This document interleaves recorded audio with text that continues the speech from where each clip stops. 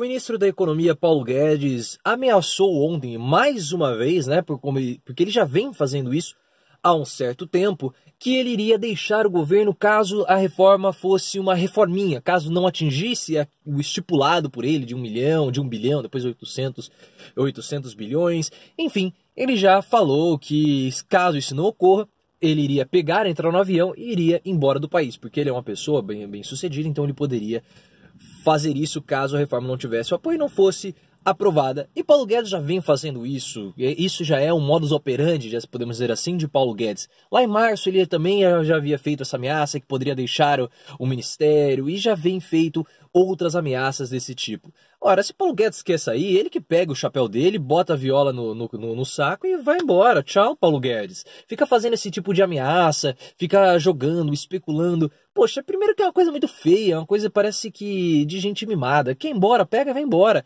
Ó, oh, não consegui aprovar a reforma, tem me esforçado, não tem dado certo, tchau, vai embora. Agora, fica fazendo essas ameaças, esse joguinho, essa chantagem, sabe? É um negócio muito. É, sabe, muito pequeno. E Bolsonaro foi muito bem na resposta, na primeira resposta que ele havia dado, porque antes, porque depois ele acabou revendo e mudando de resposta, dando uma outra declaração, o que é bem comum dentro do governo Bolsonaro. Mas no começo o Bolsonaro falou: olha, se Paulo Guedes quer ir embora, eu não posso fazer nada, ele que vá pra praia, né? Ele que, se ele, se ele sair da reforma, ele vai pra praia, eu não posso fazer nada, ele é livre para fazer o que ele quiser. E foi uma boa resposta que Bolsonaro deu. Porque ninguém é insubstituível. O Paulo Guedes ele quer se colocar numa condição de que se sem ele o Brasil não vai para frente, porque sem ele a reforma da previdência não vai ser aprovada, porque ele é a única esperança. E não é, existem outros economistas que podem fazer a mesma coisa que ele, Paulo Guedes, está fazendo. Então ele fica fazendo esse tipo de ameaças. E depois, obviamente, Paulo Guedes negou, é, é rechaçou qualquer possibilidade de abandonar o governo e o Bolsonaro soltou uma não uma nota, né, mas falou na, no Twitter ou no Facebook, falou no Twitter,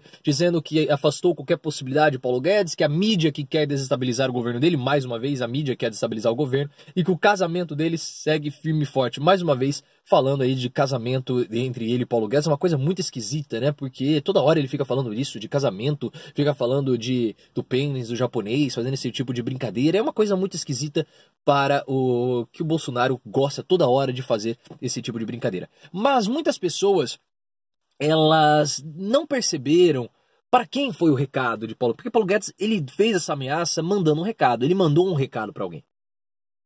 E aí muitas pessoas acham que Paulo Guedes está mandando recado para o Congresso, e Paulo Guedes não está mandando recado para o Congresso. Porque se tem uma entidade que está apoiando a reforma da Previdência, essa entidade é justamente o Congresso. O Congresso tem feito inúmeros esforços para aprovar a reforma da Previdência. Rodrigo Maia tem se empenhado para aprovar a reforma da Previdência. O próprio o Kim, Kim Kataguiri tem se empenhado para aprovar a reforma da Previdência, o Congresso ele tem se esforçado para aprovar a reforma da Previdência. E aí Bolsonaro ele também falou que a mídia, a grande mídia, como assim a grande mídia? A grande mídia ela também quer aprovar a reforma da Previdência. Ela joga para aprovar a reforma da Previdência. É, domingo passado nós tivemos uma reportagem do Fantástico falando sobre o corte de verbas para o, o ensino e depois, no final da entrevista, tinha lá um pesquisador, uma pessoa ligada ao INSPER, um economista do INSPER, dizendo que era necessário rever algumas coisas, como salários de docentes e principalmente a questão previdenciária. E eu fiz um vídeo, vou deixar aqui na descrição. Então a Globo, ela pode bater contra, ela pode bater no governo em algumas pautas, mas ela está sendo muito favorável com a reforma da previdência. E não venha você bolsonarista falar que o Congresso está atrapalhando a reforma da previdência, que o Congresso não quer aprovar a reforma da previdência, que você está errado. Isso é um pensamento errado. A reforma da previdência, ela está caminhando no ritmo que ela tem que caminhar.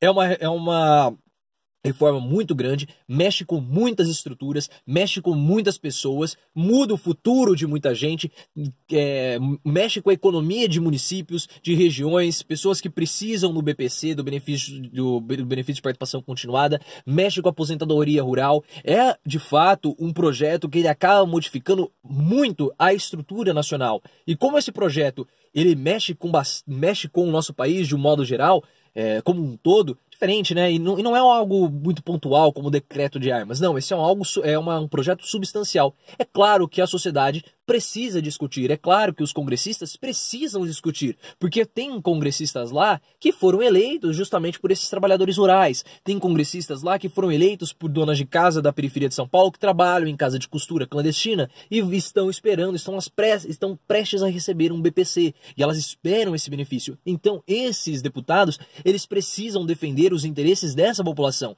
Então, é necessário que haja discussão, que haja debate, que o Paulo Guedes vá a comissões, que o Paulo Guedes explique os dados e o Paulo Guedes não explicou. Quando foi solicitado para apresentar os dados, Paulo Guedes se negou a apresentar depois apresentou um PowerPoint completamente inconclusivo. Eu fiz um vídeo, vou deixar aqui na descrição. Então é necessário que haja esse tipo de negociação. Isso tudo é normal. Ou melhor dizendo, isso nem é negociação, que haja esse tipo de discussão e explicação. Porque as pessoas elas precisam estar por dentro dessa reforma da Previdência, os deputados precisam é, debater essa reforma da Previdência e é algo muito grande, muito substancial. Então é necessário que haja esse tipo de debate. Está caminhando de modo normal na Câmara dos Deputados. Se você quer protestar porque o porque a reforma da Previdência não está andando, entre aspas, você não pode protestar com o Rodrigo Maia. Você não pode protestar com o Congresso, porque o próprio Rodrigo Maia disse que ele vai fazer ele uma proposta da reforma da Previdência. Você tem que protestar contra Jair Bolsonaro, porque Bolsonaro é o presidente da República que não tem demonstrado apoio à reforma da Previdência proposta por Paulo Guedes.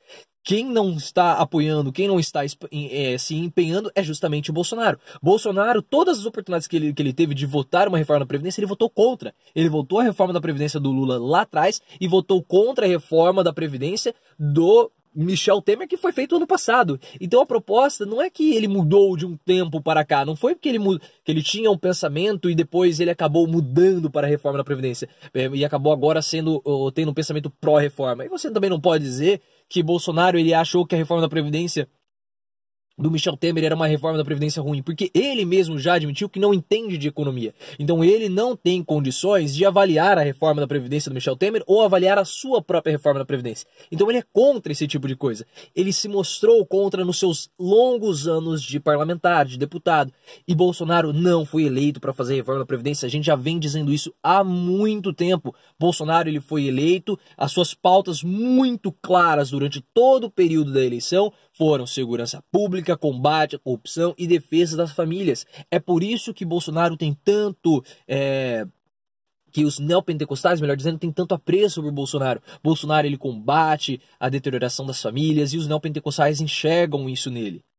Bolsonaro não foi eleito para fazer reforma da Previdência, ele não quer fazer reforma da Previdência. E Paulo Guedes, ele está cobrando o empenho do presidente, porque ele sabe que sem o presidente se empenhar, sem o empenho do presidente, ele não vai conseguir aprovar a reforma da Previdência que ele quer. Já caiu, vai cair a questão do BPC, vai cair a questão do, do benefício rural, isso vai ser excluído dessa reforma da, do Paulo Guedes, e ele precisa do apoio presidencial porque as cartas que ele tem utilizado é, para tentar aprovar a reforma da Previdência, para tentar fazer com que a população engula a reforma da Previdência, não estão dando certo. As cartas não estão dando certo.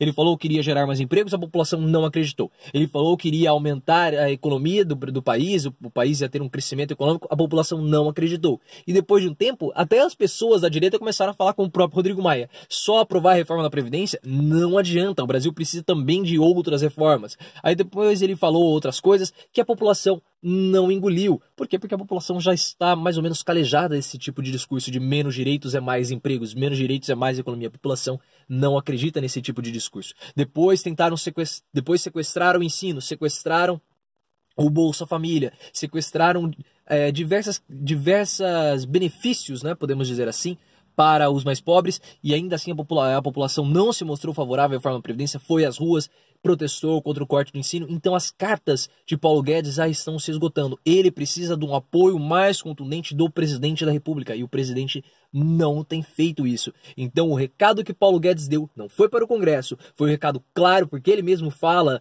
que ele quer o apoio presidencial nesse comunicado que ele falou que ele poderia deixar os que ele poderia deixar o Ministério da Economia. Foi um recado muito claro para o presidente Bolsonaro que não tem se empenhado. E nós temos que lembrar que o MBL já falou isso. Bolsonaro ele deveria sair do Twitter e defender a reforma da Previdência, o que não está ocorrendo. E mais uma vez, perceba que aquele discurso que nós estamos tendo, aquela narrativa, melhor dizendo, que nós estamos levando desde o final da semana passada, está cada vez mais dando indícios de que quem irá derrubar esse governo Bolsonaro vai ser a direita, porque Paulo Guedes ele faz parte daquele um daquele um da, eh, faz parte de um daqueles cinco núcleos que, de poderes que sustentam Bolsonaro. O núcleo dos intelectuais de direita, o núcleo dos partidos e políticos de direita, o núcleo da imprensa de direita, o núcleo do próprio governo, que tem, aí sim tem Paulo Guedes, militares e Sérgio Moro, e o núcleo dos neopentecostais e dos. É, dos eleitores de extrema direita. Esses quatro núcleos de poder, com exceção do, do núcleo dos neopentecostais, dos extremistas de direita, eles já estão esvaziando o governo. E Paulo Guedes deu o recado. A queda desse governo Bolsonaro, ela virá pela direita. E é uma coisa meio esquisita, porque essa semana eu senti pontos é, favoráveis, áreas favoráveis para Bolsonaro. Nós tivemos uma, uma, a melhor arrecadação do mês de abril nos últimos cinco anos. Nós tivemos a melhor, é, a melhor geração de emprego em questão de é, demissões e contratações. Nós tivemos o melhor abril em seis anos. Então perceba que é um cenário favorável. As pessoas estão, porque é, as vésperas das manifestações, agora de domingo, as pessoas elas estão ansiosas, há um clima favorável a Bolsonaro, mas eu não consigo. Eu, mas eu senti uma, uma coisa estranha também, Paulo Guedes fazendo essas declarações, uma queda, uma nova pesquisa de. Uma nova pesquisa de aprovação mostrando uma queda de aprovação de Bolsonaro. A Jovem Pan com Carlos Andreasa, mais uma vez Marco Antônio Villa, a Vera Magalhães fazendo críticas a Bolsonaro. Então eu achei, e o próprio Paulo Guedes fazendo essas ameaças. Então, em uma semana que eu achei que tinha nós começamos com áreas favoráveis a Bolsonaro e tivemos dados que são favoráveis a Bolsonaro, gerou alguma coisa esquisita, eu posso dizer assim, que nós temos que ficar atentos para ver se essa semana foi uma semana favorável ou uma semana desfavorável para Bolsonaro. Isso a gente só vai conseguir na semana que vem. Mas o que vocês acham? É, deixem aqui nos comentários. Vocês acharam que essa foi uma semana favorável para Jair Bolsonaro ou foi uma semana des desfavorável para o presidente? Eu achei e ficou, eu fiquei com essa dúvida, eu fiquei com, esse, com essa sensação. Talvez nos próximos dias a gente consiga ter uma percepção melhor sobre esse assunto. Considere se inscrever no canal e principalmente deixe aqui os, os comentários sobre as suas percepções com relação a esse assunto.